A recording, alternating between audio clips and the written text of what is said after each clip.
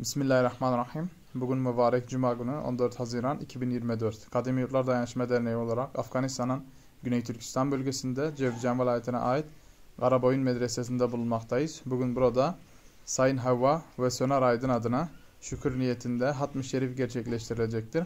Allah kabul eylesin. Hatmi Şerif'e başlıyoruz. Bismillah.